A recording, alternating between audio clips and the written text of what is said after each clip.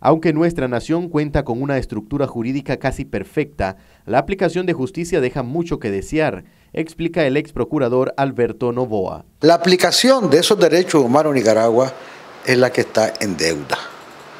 Es la que está en deuda la aplicación en la vida, para protegiendo la vida, la integridad, la seguridad, la salud, la salud, la educación, la vivienda, Aquí se ha suprimido el derecho a la huelga y es un derecho reconocido en nuestra Constitución.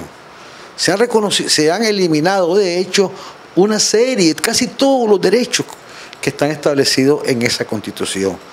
Esa Constitución recoge todos los tratados, tanto la Declaración Universal como la del Ciudadano, como la Declaración Interamericana y un montón.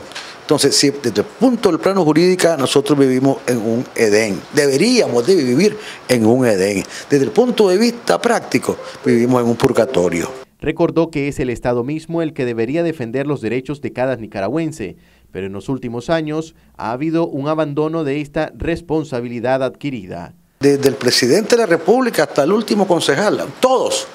Esa es la promesa que se hace, ¿verdad? Que la cumplan es otra cosa pero no es porque no haya una formalidad. Entonces, pero como ese papel mojado, entonces a todos nos corresponde, y sobre, ah, no, nosotros, a todos nos corresponde en general, pero en particular a los que detentan el poder, tener la, manera de defender esos derechos.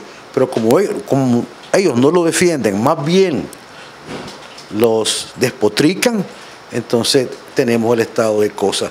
¿Qué es lo que tenemos? Un Estado que es falto de derecho, o sea, la ausencia del derecho. En Nicaragua no hay Estado de Derecho.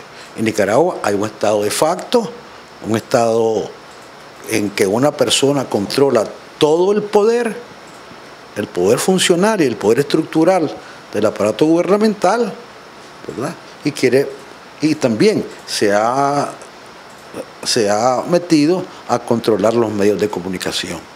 Marcos Medina, Noticias 12.